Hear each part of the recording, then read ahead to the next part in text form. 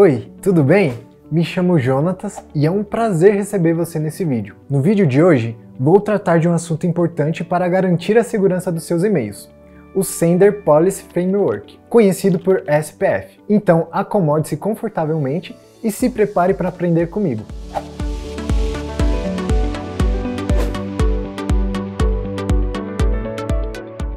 O SPF é um sistema inteligente que evita que outros domínios enviem e-mails não autorizados em nome do seu domínio. Ele funciona como um mecanismo de autenticação, permitindo que você especifique quais servidores de envio de e-mails são considerados legítimos para o seu domínio. Vamos entender melhor como funciona?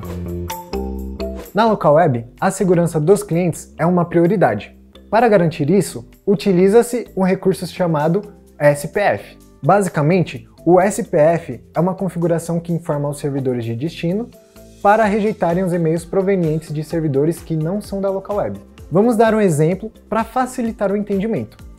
Imagine que você tem um domínio chamado meudomínio.com e tenha configurado o atributo SPF como "-all". Isso significa que, ao enviar um e-mail para um servidor de destino, ele só aceita a mensagem se o IP do servidor estiver relacionado ao domínio meudomínio.com. Em outras palavras, o servidor precisa estar autenticado e ser reconhecido como legítimo.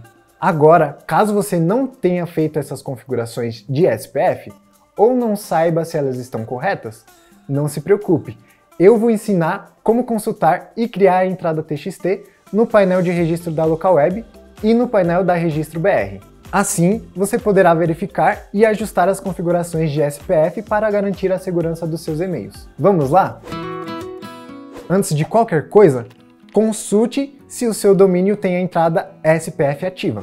Primeiro, acesse o site meuspf.com, digite o domínio completo e clique em consultar. Então o site vai retornar os dois resultados possíveis: aprovado ou reprovado. Se o resultado for aprovado, significa que está tudo certo e você pode continuar enviando seus e-mails tranquilamente. Se o resultado for reprovado, isso quer dizer que há algo de errado com seu apontamento SPF, ou que não foi realizado nenhum apontamento TXT com seu SPF. Mas não se preocupe, confira agora na prática como verificar e criar a entrada TXT no painel de registro da local web se sua zona de DNS estiver na local web, e no painel de registro BR, se sua zona de DNS estiver na registro BR. Acesse o painel de registro de domínio da local web, ok?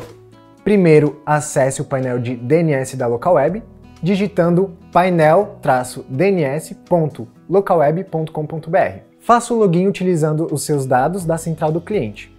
Agora, encontre o domínio que vai ter o SPF configurado e clique em Administrar.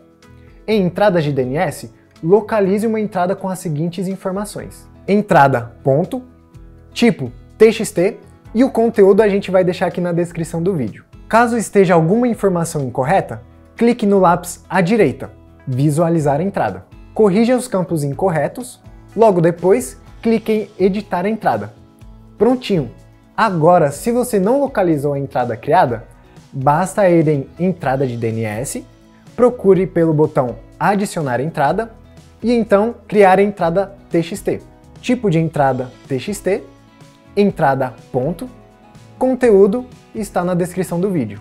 Salve as informações clicando em Salvar configurações e o apontamento TXT com o SPF será adicionado. Agora vamos para o passo a passo dentro do painel da Registro BR. Lembrando que este processo você só poderá realizar se o domínio estiver com a zona de DNS apontada para registro BR, ok? Agora vamos na prática. Acesse o painel do registro BR com o seu usuário e senha. Selecione o domínio que deseja verificar.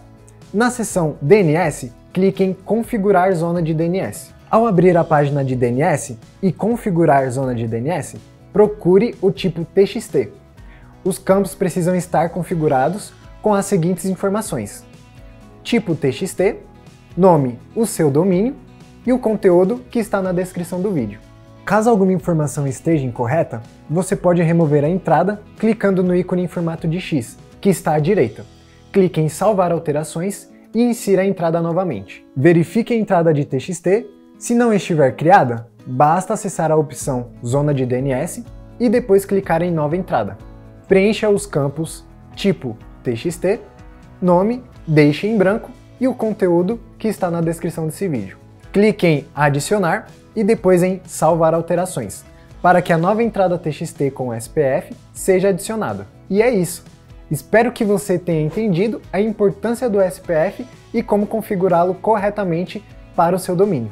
Não esqueça de deixar o seu joinha e ativar as notificações para receber mais vídeos como este. A LocalWeb está sempre pronta para ajudar. Até o próximo vídeo!